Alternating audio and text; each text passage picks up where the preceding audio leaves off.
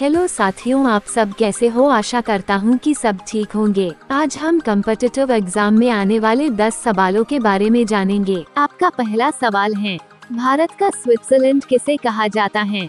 A, Kashmir, B, Manali, C, Shimla, D, Himachal Pradesh. आपका सही जवाब है, कश्मीर। आपका दूसरा सवाल है भारत के प्रथम राष्ट्रपति का नाम क्या था?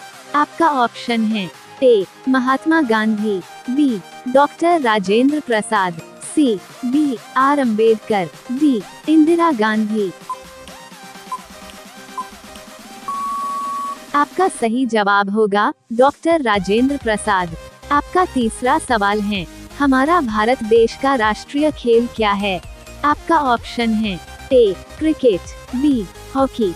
C basketball D kabaddi आपका सही जवाब होगा, हॉकी। आपका चौथा सवाल है, बुर्ज खलीफा को बनाने के लिए कुल कितने वर्ष लगा था? आपका ऑप्शन है, ए, दो वर्ष, बी, चार वर्ष, सी, छह वर्ष, डी, आठ वर्ष। आपका सही जवाब होगा, छह वर्ष। आपका पांचवा सवाल है किसान दिवस कब मनाया जाता है? आपका ऑप्शन है ए 12 अक्टूबर बी 18 सितंबर, सी 30 दिसंबर, डी 14 मार्च। आपका सही जवाब है 30 दिसंबर। आपका छठी सवाल है भारत की राजधानी क्या है?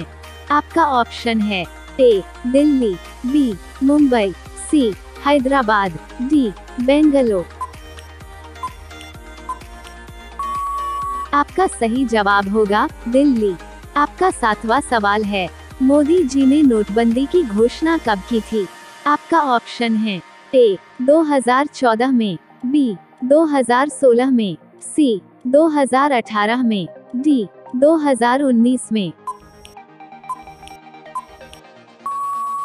आपका सही जवाब होगा 2016 में। आपका आठवां सवाल है, दुनिया की सबसे छोटी महिला किस देश में है?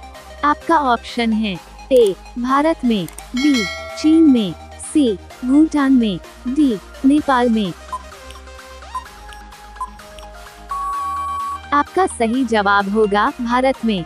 आपका नौवा सवाल है गरीबी हटाओ का नारा भारत के किस प्रधानमंत्री ने दिया था? आपका ऑप्शन है ए, अटल बिहारी वाजपेयी ने, बी, इंदिरा गांधी ने, सी, नरेंद्र मोदी ने, डी, मनमोहन सिंह ने।